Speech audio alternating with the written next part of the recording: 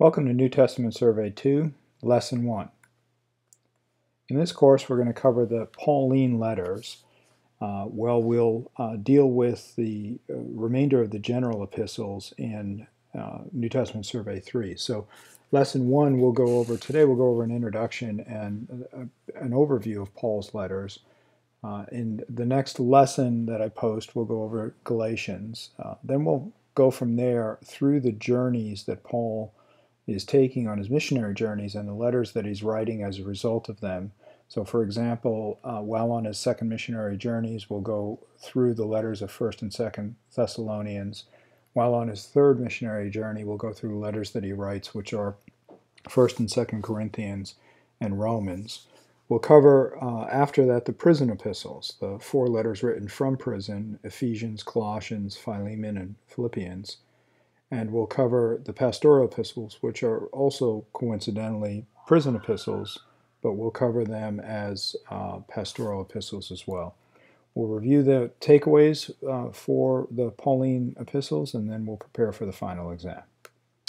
The course requirements for this uh, course is to uh, each week complete the review section, also, go through the reading plan on page four. One of the nice things about the Pauline epistles is the ability for us to actually read the letters because they're short enough to do uh, as we walk through the course. Um, you'll need to pass the final exam and submit an essay.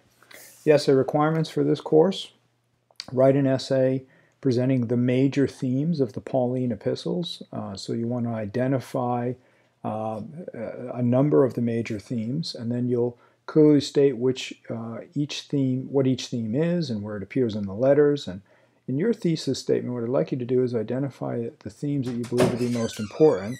Make sure you defend your choice with evidence from Scripture. Uh, the essay needs to be 600 words, but not more than nine. So two to four pages uh, should be the maximum for this essay.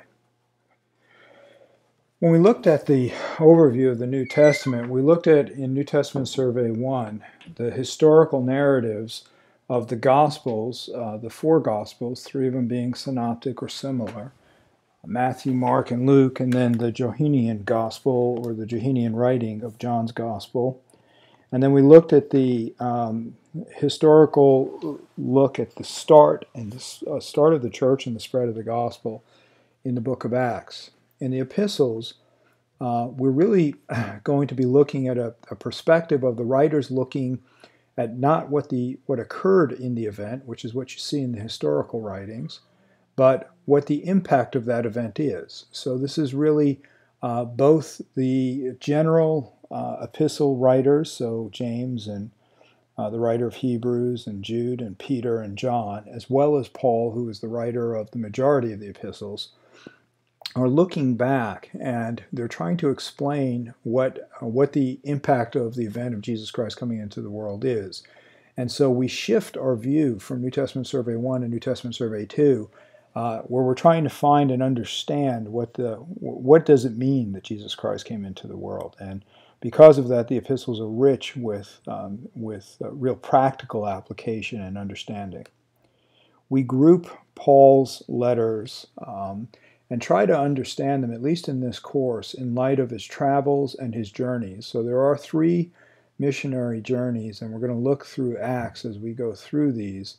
And you'll see in the missionary journeys, and I'm going to give you an example of how we use Acts really to guide us through uh, Paul's writings. In the first missionary journeys, uh, roughly in this uh, time period of 47 to 49, uh, we have uh, Paul making his first rounds particularly through the area of Galatia and Asia, and he travels particularly throughout the area of Galatia. In his second missionary journey, roughly 50 to 52, and again, these dates move depending upon your view of the dating, and, um, and so they may shift by uh, as many as five years, say, in the different views, his uh, theological views. But in the second missionary journey, Paul travels through uh, Macedonia and Achaia, and he stayed particularly at Corinth for 18 months. In his third journey, which is uh, roughly 52 to 56, uh, we see Paul traveling through Asia and Macedonia, and he spends three years in Ephesus. That's the uh, highlight of that trip. While he's traveling, he's establishing churches and he's maintaining, maintaining contact or revisiting churches that he's previously established. So the letters are seen in light of those travels because he had been there, with the exception of uh, the church at Rome, uh, where he had not been to yet while he's writing there.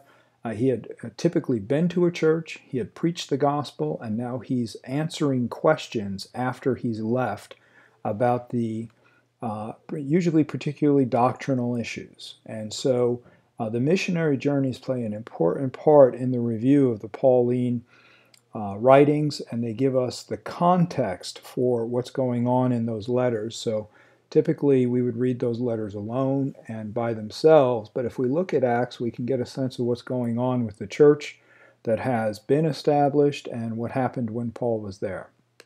The other thing we can see in the Pauline writings is his imprisonment and the impact on his imprisonment, uh, particularly his imprisonment. And now there are uh, a number of views here on Paul's imprisonment.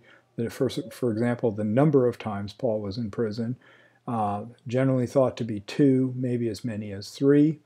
Um, and um, where he was first in house uh, arrest in Rome, and those conditions were uh, relatively easy and simple, and he was able to receive people. Uh, there is likely a temporary release, and then the second time he's in uh, prison, he is in much more grave conditions, uh, uh, likely under Nero, and just prior to his martyrdom. And so uh, the writings that occur here, you can see a different level of a sense of coming to the end or a sense of hope and a sense of instruction as a result. But even in the letter to the Ephesians, for example, it has occurred while he's in prison, but after he spent a significant amount of time there in his previous missionary journeys. So those are the overviews of the letters written during his travels or as a result of his travels, and they're the context for the Pauline writings. I've provided a number of maps. For example, this map here gives you a sense of his first missionary journey, and most illustrated Bibles have uh, a number of the, uh, the three missionary journeys outlined and the cities that he go through and uh, has gone through. And I wanted to use this as an example. You'll see at the top of the map a reference to Acts 13, uh, verses 4 through 14, and verse 28. Uh, so uh, we can see this here, for example, in Acts 13. First, Paul is sent out on this uh, missionary journey. He's sent out from Antioch, where um, uh, he's set apart by the Holy Spirit. He's laid hands on by the elders, and after prayers and fasting and the laying on of hands, they send them off.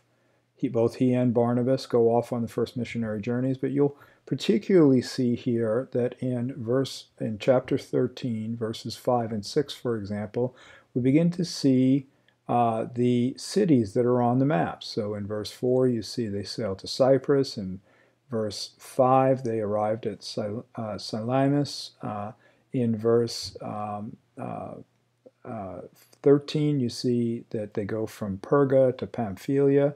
Um, and then to Antioch in Pisidia. There are two Antiochs. This is the Antioch in Galatia. Uh, in verse 51 of chapter 13, you see they went uh, to Iconium. At this point, they're actually shaking their dust off and leaving Iconium. Uh, and now in verse 6 of chapter 14, they are fled to Lystra and Derbe and Lycaonia. And so you see the the cities that they're going to. These make up the some of these make up the cities of Galatia. Uh, which is an area or a region, that we end up getting a letter from Paul after these travels back to the region, and this would be what would be called a circular epistle, which was meant to be circulated or sent around to the cities or the churches of the area. And so it's not a specific, sometimes Paul will write a specific letter to a specific church or a specific person and on a specific issue. Uh, sometimes there will be a general letter sent out, which is a, a, circular letter meant to be shared and distributed, but also meant to deal with a doctrinal issue broadly. Um, and so we have that as the case in his second missionary journeys. as well as his third missionary journeys. We have the travels, we have the establishment of churches, we have the preaching of the gospel, and then the explanation of doctrine as a result of that. And we get to um, enjoy, as a result of the Pauline letters, the instruction that comes out of the instruction to these churches, because obviously uh, Paul, by way of the Holy Spirit, was not just instructing these churches, but instructing the church of Christ as a whole on uh, what he's being led to by the Lord and uh, how he's being led to live the practical Christian life.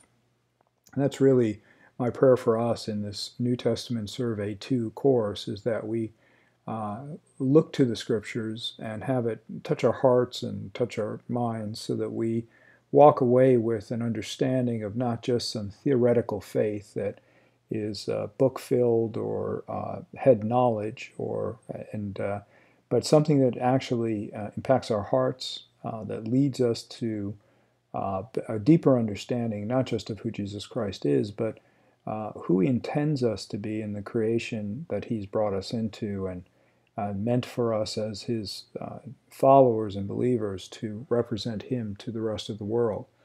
Uh, so my prayer for us is that we would um, gain a deeper understanding of that, and not just understanding, but a walk and a, a way to share that with the rest of the world, so that uh, it would uh, allow for a greater witness and a testimony of what it means to be in Christ, uh, which is something that Paul teaches often in his letters.